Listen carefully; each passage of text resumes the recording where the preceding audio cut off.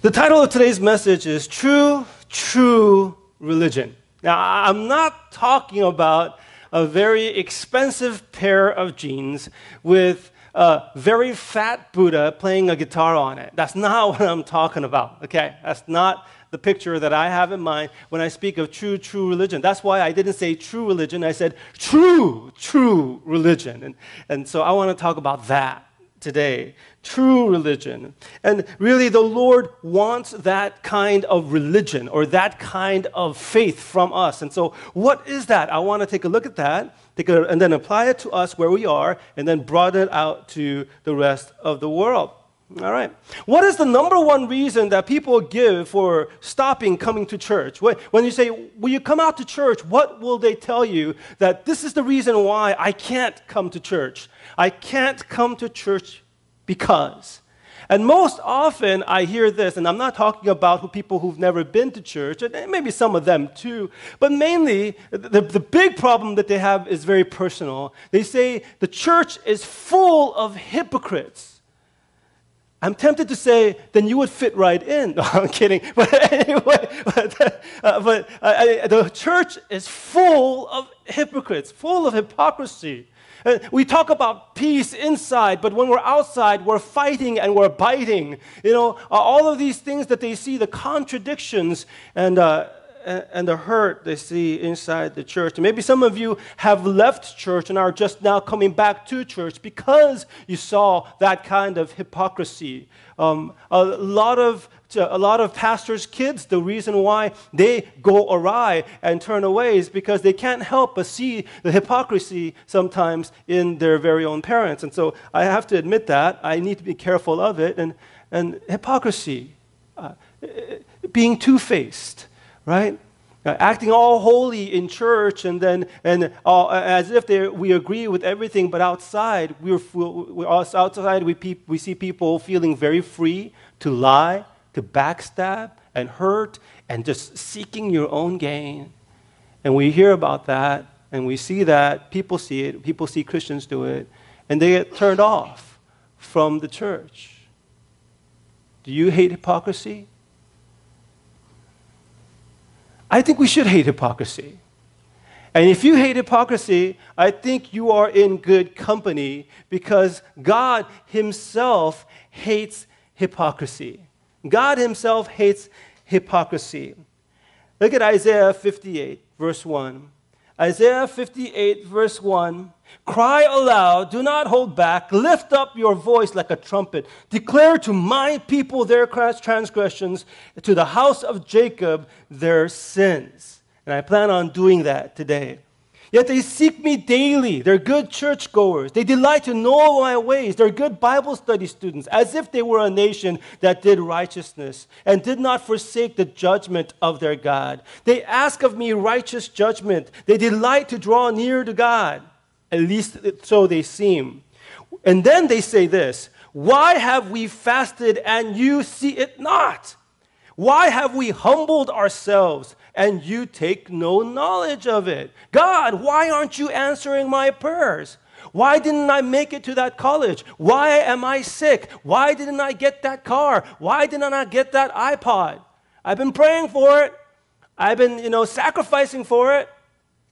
I've been a good boy like that Christmas list, right? Santa Claus is watching. Better be, better what?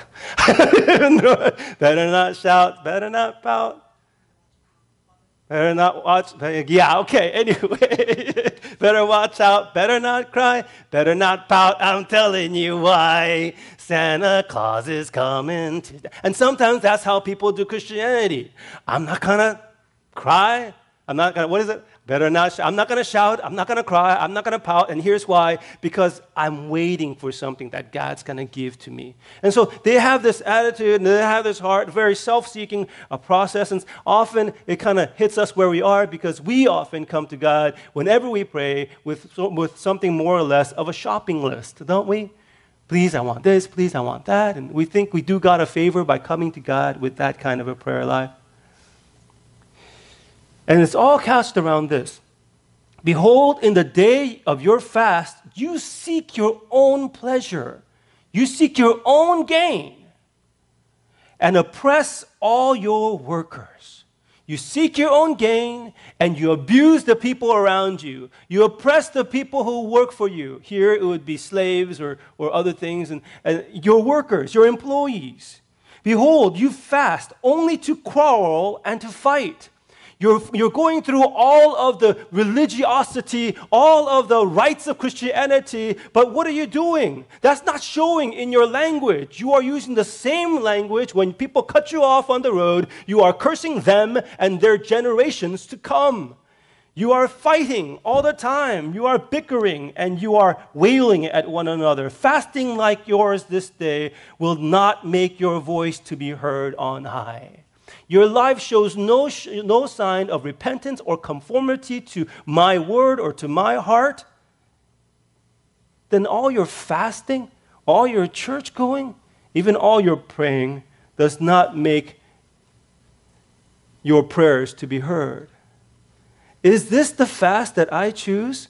A day for a person to humble himself? Is it to bow down his head like a reed and to spread sackcloth and ashes under him? Will you call this a fast, a day acceptable to the Lord?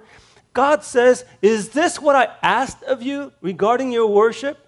To come to church week in and week out, to bow your head in prayer, to lift your arms in worship, to lift your voice? Is this the kind of fast that I've asked for? And he says, No. And if he defines the kind of fast or religiosity or religion or worship that he wants. Is this not the fast that I choose? To loose the bonds of wickedness, to undo the straps of the yoke, to let the oppressed go free, and to break every yoke? Is it not to share your bread with the hungry and bring the homeless poor into your house? When you see the naked, to cover them and not to hide yourself from your own flesh. This is the kind of fast that I want, God says. All right. There's a type of false fasting. What is fasting? Fasting is generally when you go without food, when you go without food, when you deprive yourself of food. But the Bible gives us different kinds of fast. There are there's a food fast which we hate, and there is a food and water fast which we detest. And without and in which state we stay, if we stay for more than 3 or 4 days, we die. we need to eat, we need to drink, right? So, what kind of fast then uh, am I talking about that is false fasting? I mean, you can go through, uh, if you choose to go fast, and I think it's a good habit to fast, to go without food. Some of you need to fast more than others. You know who I'm talking to? Okay? Don't, don't anybody look at me right now, okay? at this point. But uh, sure, some of us need to fast a little bit more than others. But what is false fasting? Fasting is painful. And how, what a pity if it's false, if it's pointless, if it's empty. Uh, some of us can fast to be full of ourselves. You know, some of us can fast and be religious to say of myself, I belong to this category. I am a churchgoer, and so I am a little better than everybody else. I take my family to church, and so I'm a little bit more stable than my neighbor who doesn't take, her, take his or her family to church. And so this kind of, this, this kind of security, this false security, we can find in going to church and going through the motions can have a very, very, very serious pull it can be a very strong temptation, and it can become an idol. So you can go through all the motions of the church, you can go through fasting and things, and then end up being useless and pointless because it was all about you from the beginning. You're fasting food, so your stomach is empty, but you're still full of yourself. Right? And there are a lot of people like that in the time of Isaiah. Apparently, they would come to church, they would even fast, but they do it in such a way that everybody knows so and so is fasting today. And so they do it so that they will be lifted up in the eyes of people. And having done that, they mess it all up by going out and defrauding other people, using weird tactics, fighting other people, bringing down other people, making it uncomfortable for other people people to be in their presence. It's like, wow. If church is, if that's what church is about, no wonder a lot of people are not attracted, right? And that kind of fasting is pointless and worthless, Jesus says. That's what I call churchianity. That's what I call religiosity. But that is not Christianity. It is not Christianity. Christianity is true fasting. True fasting. Now, what is true fasting? It says here, this is the fast that I choose. It's so rich and wonderful. It's worth reading one more time. To loose the bonds of wickedness, to undo the straps of the yoke, to let the oppressed go free, and to break every yoke. Is it not to share your bread with the hungry, to bring the homeless poor into your house, when you see the naked, to cover him and not hide your face from your own flesh. True fasting is to share the heart of God, to know the heart of God in such a way that it finds expression in the way that you deal with people that don't have as much as you. They are not healthy like you, they are poor and disadvantaged. And to, to them, your heart goes out and you start to express your Christ likeness, your Christian charity, your love for the Lord to them. And as you do that, you find that you get to know God's heart better. You get to find out that you can love people like God loves. It is to know God in the service of others. That's how God defines true fasting. To let go of your own advantage, like eating, like money, like time, so that you could use that money you can use those resources, you can use that time to experience God in serving and loving others. That's the true principle of fasting. The true principle of fasting. Let me give you a few more verses here. Okay, let me see. All right. Let me get there right now, real quickly. All right, here we go. True religion, love from a transformed heart. I was supposed to put that up in the beginning. I didn't miss it. Ah, sorry. Okay. Here we go. True fasting. Okay. If you can read it, go ahead and read it with me. If it's too small, I will read it for you. Let him who boasts boast in this, that he understands and knows me, that I am the Lord who practices steadfast love, justice, and righteousness on the earth. For in these things I delight, says the Lord. So when we serve others, when we love one another, when we know, and for the purpose of knowing God, that's where we experience Him. And that's a type of fasting, where we put aside other things so that we can focus on loving and knowing the Lord. This is talking about a righteous king. Did not your father eat and drink and do justice and righteousness? Then it was well with him. He judged the cause of the poor and needy. Then it was well. Is not this to know me? Did you catch that? Is not this to know me, says the Lord? What is it to know the Lord? To be kings, to exercise your authority, to exercise your God given position, to be kind and to be merciful and to serve the people that everybody else steps on. This is to know God because this is what God does. This is what God does. People in your care, serving and loving your children.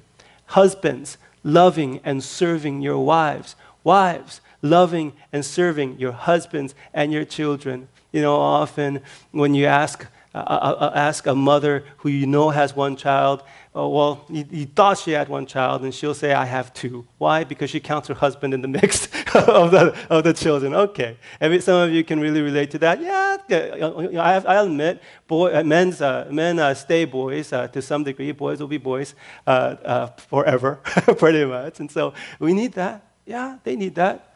And so we need to serve one another. We need to love each other. And when we do that, that's the process of knowing God. Loving others, serving others is the process of knowing God. That's true fasting. When you stop feeding and serving yourself for a moment so that you can focus your attention, your love, your energy on someone else, that's knowing God. Okay? That's true fasting. Let me try to bring it home just a little bit more for you. Uh, for example, and the text here also talks about the Sabbath day, delighting in the Sabbath day. And we have a concept here called the Lord's Day, which is the first day of the week. We set it aside for worship, rest, and mercy. Say that with me worship, rest, and mercy. So the idea is that you would take one day out of seven. Some of uh, most people do like a 24-hour period. Uh, some people, like me, I think of six o'clock to six o'clock. It's, it's roughly like that. Just to set, a, set it aside to just focus on worship, rest, and mercy. Don't you worship, rest, and, mer- and, have, and give mercy throughout the week? Of course you do. But you set aside a special day for worship, rest, and mercy. Say it one more time worship, rest, and mercy. And when you do that, a lot of us, what we do, one of the things we do is we don't do what we usually do throughout the week so that we can set aside this day. And that could include not spending money, not um, studying. Some of the students like that. I, enjoyed that growing up, taking a break from my studying, sure. Uh, those kinds of things, you can do that you can do you can do. Also it has a lot of positive things reading a good christian book spending more time in god's word making sure that church th- takes priority in your life on the lord's day that nothing competes with worship on the lord's day. So all those are really really good things.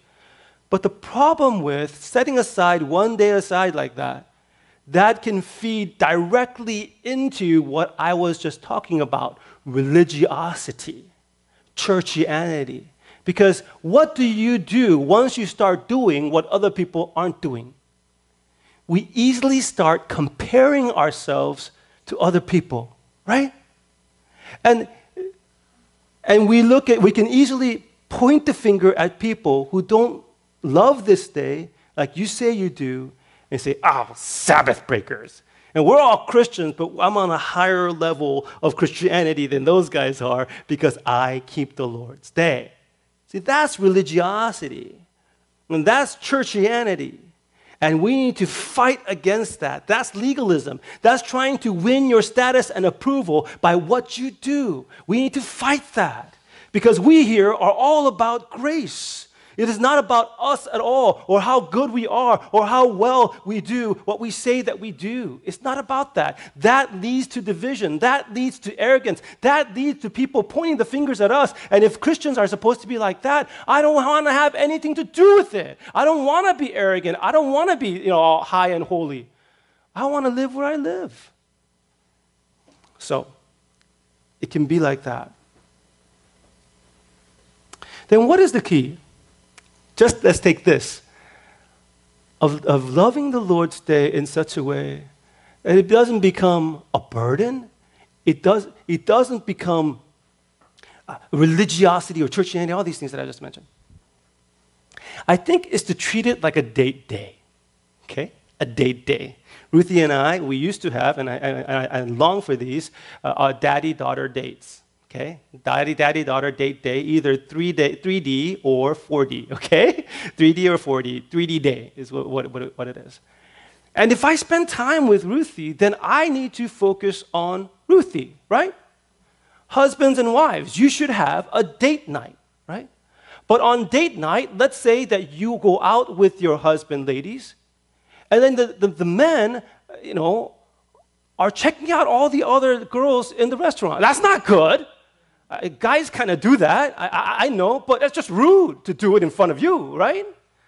Um, sure. And ladies, if men, if your wife, you know, while she's dating you, she is thinking about that really cute guy in the park that shows up every time she's jogging in the morning throughout the week. That's a problem too, right? That's a problem also.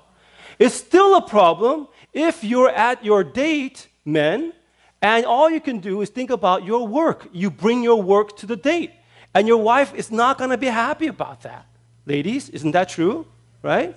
And, and, and I could just go on and on and on and on, right? You don't bring your week onto your date. You don't do that. I used to think by the best, one of the best things to do on a date is to bring a book and read. I, I learned that was not a good idea. I learned pretty quickly that that's a way to really turn off my date, to bring a book, right? You don't do that. Why? Because you want exclusive time. You want sp- time spent alone with the person that you love. What is the Lord's day? This is our date day with King Jesus. Amen?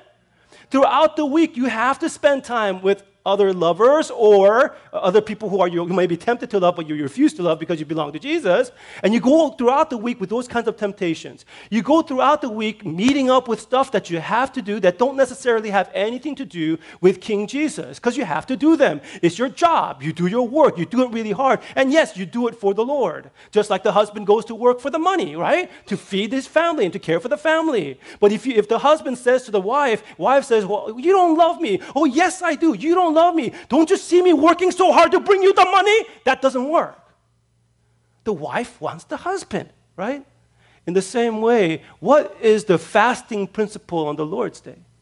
You stop all these other things you're doing so they don't compete with your singular attention on God and knowing Him in loving others like Him as He does. Make sense? Right? So you stop from all these other things for the sake of worship, rest, and mercy. Worshiping God with other brothers and sisters. Giving your body some rest because your Lord takes rest seriously. Sleeping a little bit early on that day. Refusing to get caught up with everything else you've been doing throughout the week. I mean, this is a real good incentive, students, to study really hard so that you could take a break on this day right? And providing mercy, being kind, being more generous than you have throughout the week, reflecting Jesus' likeness a little bit more on the Lord's day. That's the way to honor the Lord's day. Loving the Lord's day. I have a little clip on, on, on my YouTube channel, Loving the Lord's Day. This is what it's about. And so you, I know some of you feel differently about the Lord's Day. Not all of you sign on to it. But uh, as a part of this church, as a part of the culture of this church, how can we do it in such a way that we are not judging other people? Think of the privilege, just the joy of stopping everything else and getting to focus on your Lord and lover, King Jesus, and living with him and in him and like him throughout this one day of the week. Okay? Do you see that? Is that's the way to keep the Lord's day, where you're not going to be judgmental, you're not going to be legalistic, you're not going to make a list and just kind of focus on that. Can I do this? Can't I do that? No. Well, how can I do more? How can I keep it better? How can I focus my eyes more on the beauty of the one that I love? Don't you do that? I know you two, you, you people who have been in love, you guys are sick. you know, you look at each other's faces and you're looking at every crease and cranny in the face and you're just loving that person, right? And your gaze doesn't, doesn't, doesn't turn. Yeah.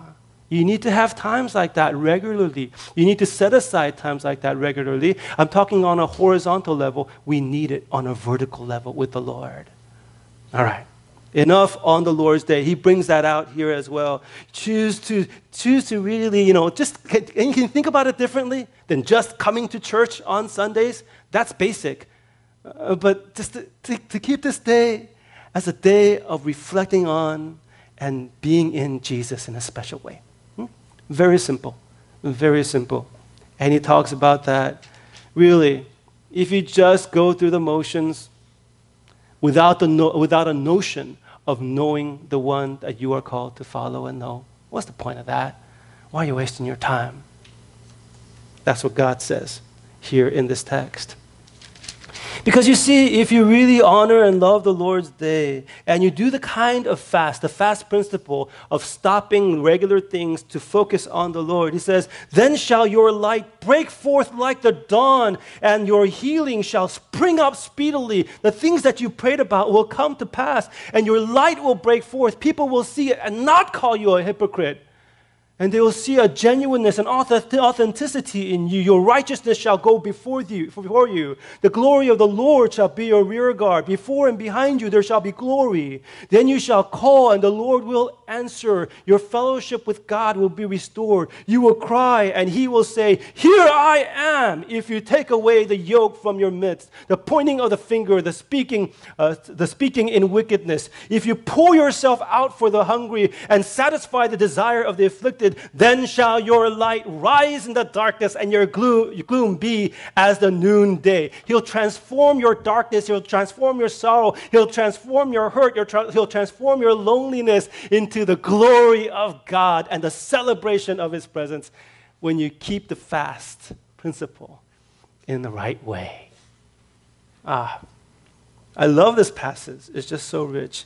And you will be like a watered garden, like a spring water whose waters do not fail.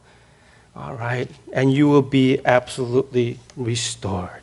Wonderful, amazing promises here. All right. You hate it when your date is thinking about someone or something else, schoolwork or otherwise, when you are on a date. That's hypocrisy. He's pretending, she's pretending to be with you, but in his mind, her mind, she's, she or he is somewhere else. God hates hypocrisy. Jesus also hates hypocrisy. Matthew chapter 36, verse 26, Jesus says, These people draw near me with their lips, but their hearts are far from me. These people draw near me with their lips, but their hearts are far from me. He's quoting Isaiah, by the way, same thought, same prophet. Isn't it hard to be consistent? We hate hypocrisy, but don't we see it in ourselves?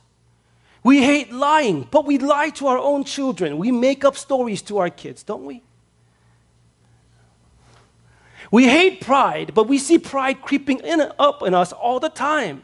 And so when people are disappointed in the church, I usually come up with this line saying, the church is more of a, of a hospital than a resort, okay? It's a place where the sick people are. There are going to be more more sick people than doctors. That's the way it's meant to be.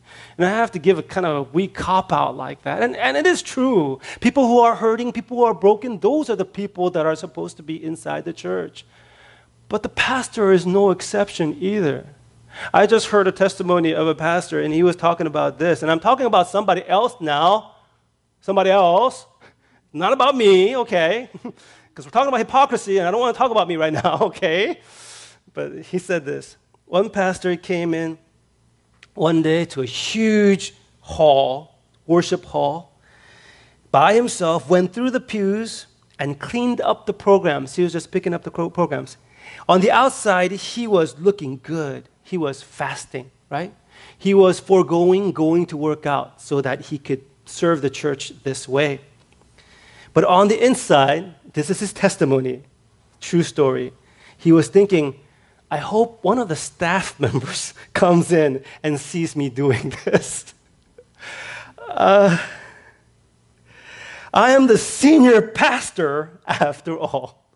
Right? So it's, kind of uh, just coming up. What do you call that? You call that pride. You call that pride.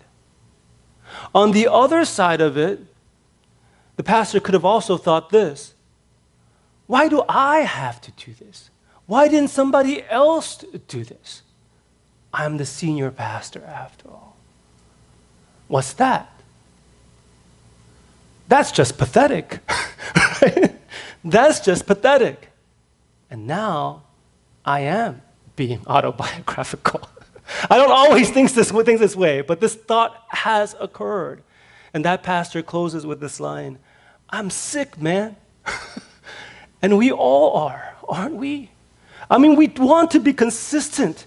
When we worship God, we know it's real. And our hearts skip a beat when you hear the name of Jesus. When the tears are flowing down our eyes, those tears are real and those tears are hot. And we want to worship God more consistently. We want to come on the Lord's day and worship Him all the time. But we find we don't get here all the time. And we find this very big inconsistency, a war that is going inside of our hearts. That's what the Apostle Paul said said, I know what to do right, but I keep on doing what's wrong. I know that I need to be a servant to my wife and to my daughter, but I keep on wanting to lord it over them. I know when I discipline my son, it's supposed to be an expression of love, but sometimes when I do it, I have to admit a little bit of self gratification sneaks in.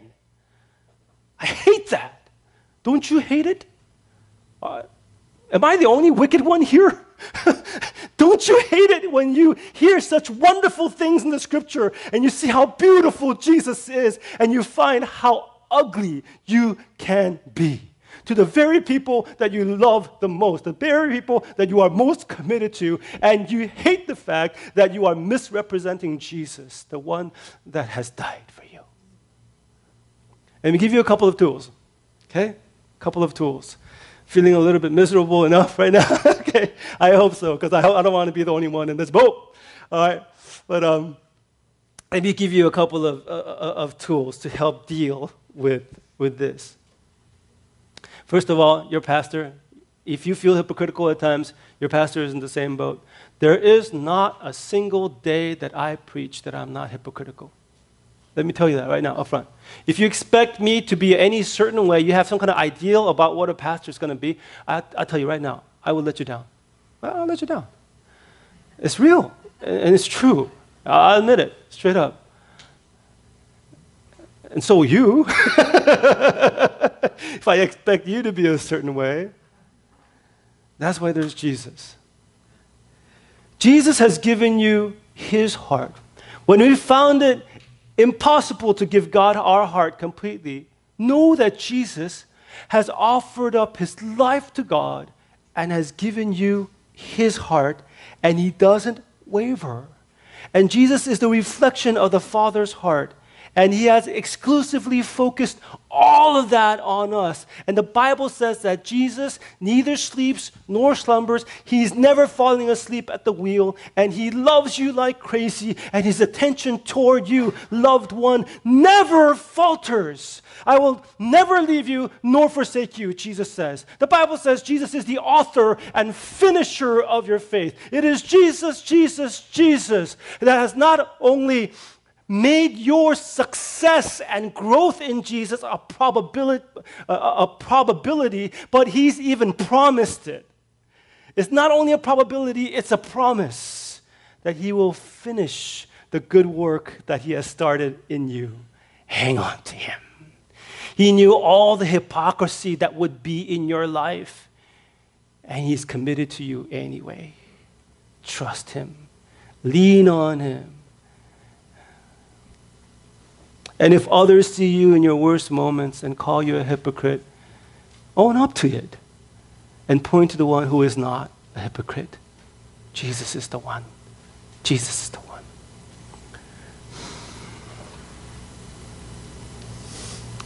Jesus accomplished our heart transplant from the cross. He turned your stony and hardened heart into a heart of flesh. He invaded the heart of flesh. Do you see that, that picture that I had up there from the, from the very beginning, the one that you have on? He takes that hard, that crusted, stony heart, and he breaks it, yeah, and he transforms it into a boom, beating heart. Isn't that good? Boom. And he causes that heart to beat for the heart of God. It is beating imperfectly yet, but it's made in the image of God. And that heart is beating in your heart right now. The Holy Spirit shaping it toward God's likeness. And believe that. Yes, you're going to discover hypocrisy. You're going to discover pockets of sin that you never knew existed, selfishness and dirt. You know, I was listening to a, uh, a radio program, and then and he was talking about child abusers and all these people. He said, What kind of animal does stuff like that? It has to be a different category of human being. But I want to tell you the more that I discover about my own heart, the more potential for sin that the seeds of sin that has, has that is and have been, has been always there, the more I realize, but for the grace of God, I would be there too. It's God's grace from the start to the very end. And He has done great work in me personally. I'm a work in process, but I'm also a work, you are also a work in progress. All right, let's apply this. There's great potential, probability, and promise for your growth in Jesus. On a personal level, by the power of the Spirit from a transformed heart, love the Lord's day. I would challenge you love the Lord's day.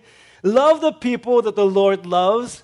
Draw all of your energy and point it. Make this day a day that's special. Yes, you're going to fall short, but there's grace for that. Make this a day that is special, that you've set aside, nothing else competes with worship, rest, and mercy, and you spend this day loving the Lord and filling it with His good things. Don't worry, don't focus so much on the negative, don't focus on what you cannot do. By the way, when you're occupied with what you want to do, the things that you don't do take care of themselves, right? Let's say that you wanted to go to school on Monday, but daddy said to you, Iris, or mommy said to you, Iris, you can go with your sister to Magic Mountain. All right? You can go to sister with your sister on Magic Mountain on Monday. But mommy, I have school on Monday. It's okay. I'm going to let you go. When you go, and, and, mommy says, I'll take care of it. Uh, it'll be all, I'll be, all, be on me. Is she going to Magic Mountain? Oh, yeah. Is she going to be thinking about school that whole day? Well, my mom said she's going to take care of it. She'll do the homework. She'll do whatever else needs to be done. So she can focus on Magic Mountain. That's a weak illustration. I just realized. But anyway, on the Lord's day, to be able to focus and love the Lord, focusing on worship, rest, and mercy. Fill it with God's good things, and things you don't do will take care of themselves.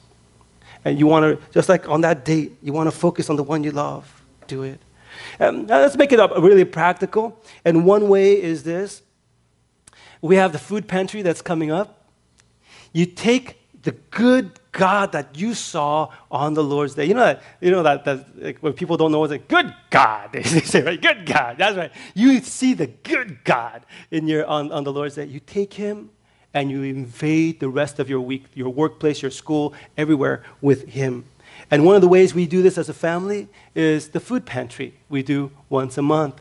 If you haven't done it uh, at all before, and even if you've done it before, Come, join us. Let's just serve the community together. Let's be Jesus to this community. Is it going to take a little bit of cost you your day off? Is it going to cost you, uh, you know, in gas and, and so? Yeah, sure, but we've minimized the cost, so it's as little of a sacrifice as possible. But come, and we'll work together and love together and know Jesus together. Isn't that what church and family is about? Mm-hmm. Let's broaden this out. And I'm sorry that I have to spend just so little bit of focus on this. But reaching out to the world, let's not be satisfied with just this community, but let's be globally focused. I'm praying that, the, that, the, that Christians will continue to have a reputation of giving more to charity than atheists give. An atheist came up with this question. He said, statistically speaking, Christians do give more generously to, than atheists do. And so he was trying to encourage the atheists to be more charitable. But really, Christians, you have a real reason to be charitable because this is your Father's heart, because He is so generous and He gave Himself completely for you. If you are His child, you want to be generous. You want to end up like people like I know who have become reverse tithers. What do they do? They give away 90% of their income and live on 10%. Yeah, they probably get audited every year, but anyway, that's the way they they live. They give away 90% and they live off of the 10%. That's good. That's good. What do we do here at the church? We participate, of course, in the other programs here, uh, around here. One of the things that we do is, um, is this. Oh, I had all of these for you, didn't I? Oh, look at this. Religion that is pure and undefiled before God the Father is this to visit orphans and widows in their affliction and to keep oneself unstained from the world. This is true religion. Ah, I love it. And this is what you are in Christ and what you are striving for. This is what we are doing as a church. If you see all these pictures on the hallways, you may have wondered what they are. These are the children that some of you are sponsoring on your own. These are all the various children all over the world. There's Nicaragua, there's India, and different places. And I would encourage you, if you're not doing it right now, do it. Sponsor a child. Uh, no, I, am not sure exactly how much it is up to now 30 or $40 a month. And uh, with your family, it's a wonderful thing to do. I would encourage you to do it. Let me introduce you to a couple more kids. This is Paula Zimena Guyabo Vasquez. All right? She is one of the kids that we sponsor here. Here's, here's another kid. His name is Peterson Alfred. His face just, you know why I, you know why we chose him? His face said, sponsor me. that's what it said. And he's saying it still because he's, that's closer to where he is now. Over the years, he's grown a bit.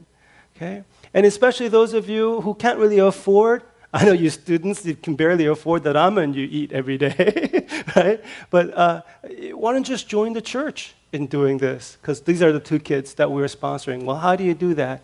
There's a lonely donation box in the middle of the hallway, and you could just give, save up a little bit, and give on the weekends to support these kids.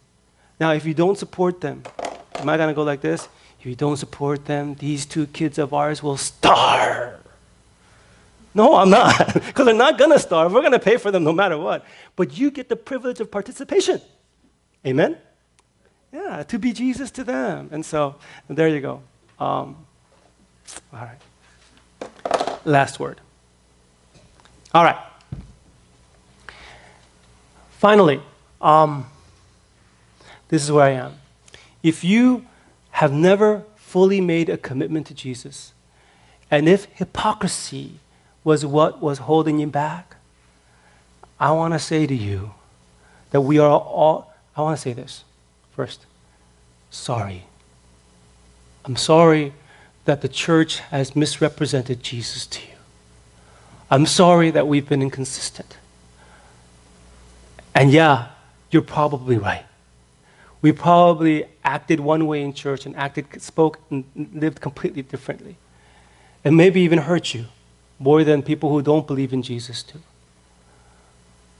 But we are a work in process. Imagine how bad would we would be without Jesus. And I want to tell you, Jesus is awesome.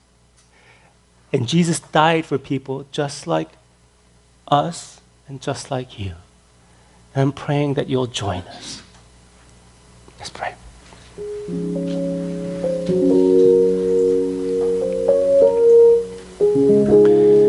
Lord, we are inconsistent. Lord, we are hypocritical. And we are every day in desperate need of your grace. And King Jesus, you have been absolutely perfect in your love for the Father, in giving your heart to us, so that our stony, rock hard hearts are broken and transformed into moldable, shapeable hearts of flesh, living hearts of flesh. We were dead in trespasses and sins, but you made us alive in your resurrection power. Help us to live in that power today. When we think about how beautiful you are, we, we wonder why we keep on falling back into our old ways, into our old thoughts, into thoughts of discouragement and despair and depression. And we hate that. And that drives us even deeper into our despair. King Jesus, you lift up our eyes to you. There is somebody here today, Lord, that is struggling with these issues of desertion they feel deserted and they feel desperate and they're feeling depressed. Let your voice penetrate the darkness. Lift his eyes to you. Draw her gaze to you. And you do this for your glory. And as we continue to turn our eyes to you every Lord's Day and throughout the week, I pray, Lord God, that you would cause us to be more and more consistent, less and less hypocritical, until proclaim the truth of the beauty of King Jesus with our words and lives. In your name we pray. Amen.